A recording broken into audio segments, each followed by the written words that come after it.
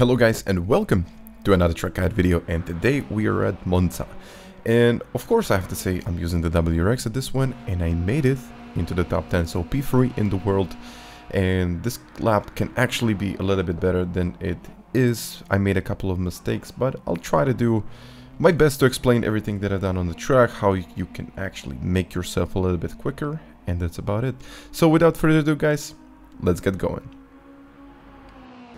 Okay, let's get going with this track guide. And I said, P3 in the world, and I've done a little mistake right there. So 150 meter sign is usually the spot for braking. So 125 is where I'm always trying to kind of get, and you can also see the patch right there. It's around at 125. So this point indicates that I should start turning and also downshifting into first, but quickly I mean, I didn't upshift into second, but you should upshift into second because it's going to give you better ability to turn. Plus, you need to attack this corner. So really, really attack it and make sure that the car is straight. So you're kind of attacking the second part of the chicane. So you can actually get the better line and you can straighten up the car faster and in the end you know once the car is straightened up you can really put the power down and the car is not really going to slide like it would when you're turning the wheel so here I'm looking at the patch, it's kind of, when it's too bright, it's really, really hard to see, but just when you pass the 150 meter sign, and I'm braking until this point. So I'm not turning before this point, because I'm, I'm really gonna explain why. As you go over the curbs, so you need to you need to carry the speed, but you also need kind of a straight line through this section. So that's why I'm taking that part a little bit later than I normally would, but it's also very easy to pick up a penalty. And what can I say? It's easy to pick up a penalty. Yeah. Here, 50 meter sign at about 30, 35. I'm starting to starting to kind of turn and brake at the same time. But just when I get to this patch, I'm mostly kind of braking, trail braking, or a little bit of coasting. Reaching that patch indicates, okay, it's time to get on the power and time to get the most out of that turn and most out of that corner. So here, 50 meter sign a little bit later, I would say, but very, very hard on the brakes, but for a very, very short while.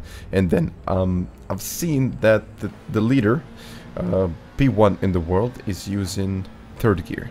I tested out third, didn't really see I, I, didn't really see any kind of good result out of that, so I think fourth gear is probably the best option I mean, maybe for this car, for other cars it might be a little bit different, but yeah, that's about it. So another patch on the right, breaking the straight line, look at the curb, the curb indicates for you to start turning in, downshifting, and I upshifting the forward, but this is now what's making all of this so important. So you can see the curbs, those two, no, three little curbs. So I try to get to the inside of those little curves for the first two ones, then I try to avoid the next the next one on the right, and of course the next one on the left. So you're trying to get off the throttle a little bit so you can take the inside of that curb or two curbs, and then you just, you know, you take yourself a nice and easy line and the exit is, I have to say, much, much quicker. It's just so much quicker.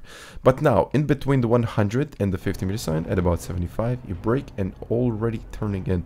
So I took this line a little bit wider than I normally would, but it proved to be even better so I don't know how it worked like, but I was reaching up that pole, upshifting to 4th gear, and I got a very, very, very good result, and, you know, somehow the car actually became a little bit quicker like this, so...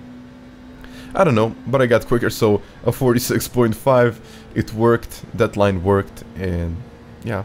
I hope this guide is gonna help you guys, so if it's gonna help, please make sure that you hit the like button and you might even want to subscribe to my channel. Yeah. So once again, thank you very much for watching this and I'll catch you guys next time. Bye.